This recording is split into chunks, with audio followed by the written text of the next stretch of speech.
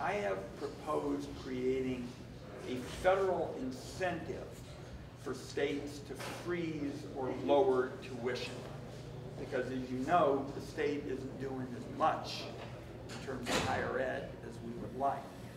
And what I have proposed is to say that if a state freezes or lower tuition at public institutions, Oregon State, public institutions, the federal government would help out with special funding in order to make it attractive for states to hold down tuition hikes. I've also introduced a bill called the Know Before You Go Act to make sure that students for the first time could know about graduation rates, and debt levels, and earnings, and all that kind of thing. Because education is one of the few things we buy we're sort of in the dark.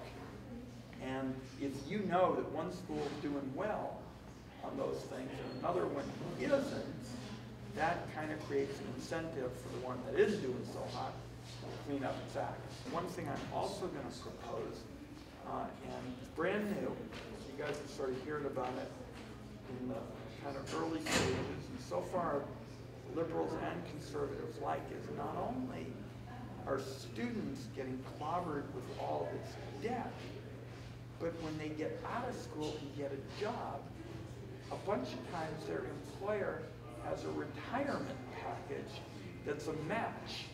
In other words, the employer puts money up, and the student gets it if they can match it.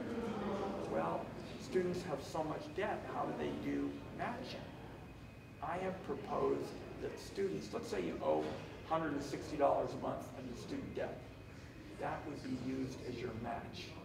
In other words, you could get the employer's share of your retirement as long as you match your student debt. It's a way of saying, hey, we clobbered people once, let's not clobber them again. So you don't have to pay more, it's just your student debt would be considered your match.